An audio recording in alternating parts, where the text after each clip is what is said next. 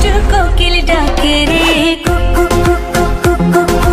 মনে এবার তুফান সিনেমার দুষ্টু কোকিল গানের রিলসের ট্যাগ ব্যবহার করেছে বলিউডের অন্যতম নায়িকা সানি লিওন বিষয়টি ইতিমধ্যে সামাজিক যোগাযোগ মাধ্যমে ব্যাপক সমালোচিত হয়েছে তবে বিষয়টি রীতিমতো শেয়ার করেছে দুষ্টু কোকিল গানের কণ্ঠশিল্পী কণা তার ফেসবুক ভেরিফাইড পেজে ইতিমধ্যে একটি পোস্টে এই বিষয়টি জানিয়েছেন বলিউডের এই অভিনেত্রী রিলসের এই ট্যাগ ব্যবহার করায় বেশ আনন্দিত হয়েছেন দুষ্টু কোকিল গানের কণ্ঠশিল্পী কণা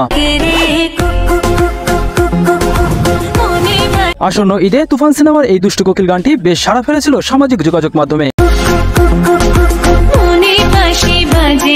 দেশ থেকে দেশান্তর প্রতিটি ক্ষেত্রে যেন এই গানের রিলসে মেতেছে শাকিব খানের ভক্তরা। তবে এই গানের সাথে এই প্রথমবার বলিউডের সানি লিওন লিপসিং করায় বেশ জমে উঠেছে সামাজিক যোগাযোগ মাধ্যম। বাঙালি কোনো গানে এই প্রথমবার এ ধরনের এক্সপিরিয়েশন হয়। সত্যি বেশ আনন্দিত হয়েছেন কণ্ঠশিল্পী কনাল। প্রিয় দর্শক, দুষ্টু কোকিল গানটি আপনার কাছে কেমন লেগেছে তা অবশ্যই কমেন্ট করতে ভুলবেন না। সাকিবের পরবর্তী আপডেট পেতে চ্যানেলটি সাবস্ক্রাইব করে পাশে থাকুন। ধন্যবাদ। এস নিউজ টোয়েন্টি ফোর এইস